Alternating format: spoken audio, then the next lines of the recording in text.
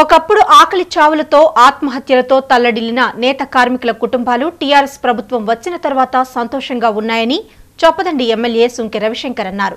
బతుకమ్మ చీరల తయారీని చేనేత కుటుంబాలకి ఇచ్చి భరోసాని ఇవ్వడంతో వారు ఉపాధి పొందుతున్నారని తెలిపారు. సంవత్సరంలో మూడు వందల అరవై ఐదు రోజులు పని దొరికి ఆనందంగా జీవిస్తున్నారని వెల్లడించారు. మినీ సిరిసిల్లగా పేరు గడించిన కరీంనగర్ జిల్లా గంగాధర మండలం ఘర్షకుర్తి గ్రామంలో బతుకమ్మ చీరల యూనిట్ను చొప్పదండి ఎమ్మెల్యే సుంక రవిశంకర్ ప్రారంభించారు. ఈ సందర్భంగా ఆయన మాట్లాడుతూ సుమారు పదిహేను వందల కుటుంబాలు చేనేత వృత్తిని నమ్ముకుని జీవనం సాగిస్తున్నాయని తెలిపారు.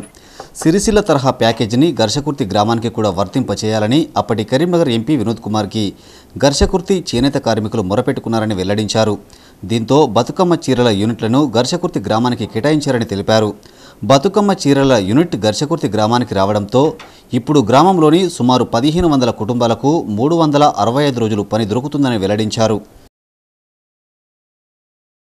సిరిసిల్ల పట్టణంలో ఉన్నటువంటి కార్మికులందరికీ కూడా ప్రతి ఒక్క కుటుంబానికి ఉపాధి దొరికే విధంగా అక్కడ అవకాశాన్ని కలిగించి మరి అదేవిధంగా గౌరవ ముఖ్యమంత్రి గారికి అదేవిధంగా ఎంపీ వినోద్ కుమార్ గారికి మరి కేటీ రామారావు గారికి మేము ఈ నియోజకవర్గం నుంచి మా ఘర్షకుర్తిని కూడా ఒక టెక్స్టైల్ పార్కు చేనేత కార్మికులకు ఏదైతే ప్యాకేజీ ఉందో మా ఘర్షకుర్తి గ్రామ చేనేత కార్మికులందరికీ కూడా మా నియోజకవర్గంలో ఉన్నటువంటి చేనేత కార్మికులకు అందరికీ అవకాశాన్ని కలిగించాలని చెప్పి వారికి వినతి ఇచ్చినప్పుడు నలభై రెండు మంది ఓనర్స్ ఉన్నారు.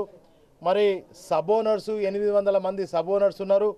అంతేకాకుండా పదిహేను వందల మంది కార్మికులు ఇక్కడ మరి పనిచేస్తూ ఉన్నారు. దాదాపు వంద మరి పవర్ లూమ్స్ ఓనర్స్ ఉన్నారు కనుక మొట్టమొదటిసారిగా మొట్టమొదటి మొదటి విడతగా ఒక లక్ష ఎనిమిది వేల మరి చీరలను తయారు చేసే విధంగా టీఆర్ఎస్ ప్రభుత్వం గౌరవ ముఖ్యమంత్రి గారు మా ఘర్షకుర్తి గ్రామానికి కేటాయించడం. మరి మేము గౌరవ ముఖ్యమంత్రి గారికి కృతజ్ఞతలు తెలియజేస్తా ఉన్నాం.